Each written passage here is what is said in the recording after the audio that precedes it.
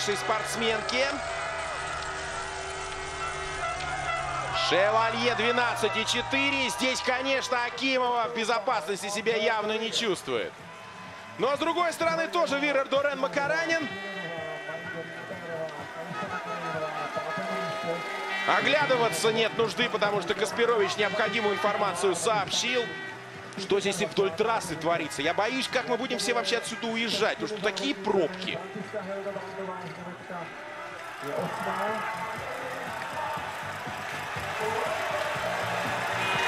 Вот только-только прошла Дальмайер. И за ней Кукалова. Но тоже ведь шансы сохраняют. Наверное, все в этой десятке сильнейших на призовую позицию. Может быть, Виткова чуть меньше, но всякое бывало. Тем более, о чем тренеры нашей сборной говорили. Непростая роза ветров, непростая ситуация на стадионе. Высочина-арена. Итак, друзья, круг мимо комментаторских позиций наших, которые продолжают шататься вместе со зрителями, но мы специально ходили, проверяли крепость конструкции. Здесь вроде все в порядке, потому что ну, иногда даже страшновато.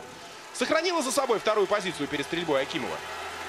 Тем более, что сейчас сбавили темп преследовательницы и, естественно, идут своим ходом для того, чтобы настроиться на стрельбу.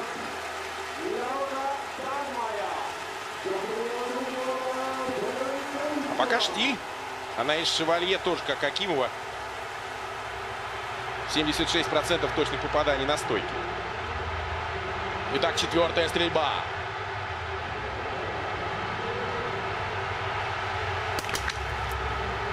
Чуфарова, 21 полторы минуты на отрезке 7,5.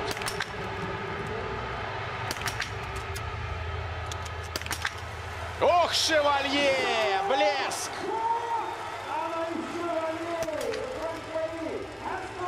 Посмотрите, насколько быстрее начала стрельбу Вирер, нежели Акимова. Дорен Мак. Вирер пошла. Брось, Макаранин, Дорен промазали и... Таня молодец! Таня закрывает все мишени, но здесь опасно. Данкли опасно. Еще одна борьба! Еще одна борьба! Акимовой за призовую позицию! Итак, Кукалова, Дальмар, Хильдебранд мажут и повышают наши шансы сегодня на призовую позицию. Но, уважаемые друзья, нужно еще эти призы сегодня отвоевать. Но как бы там ни было, согласимся, что эта гонка уже в активе и тренеров нашей сборной, и Татьяны Акимовой. Итак, Эхов, Айванье два промаха, Виткова один.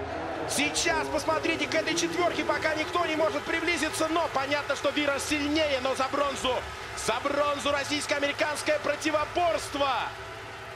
Жаркая битва при Нове Место. Ух ты!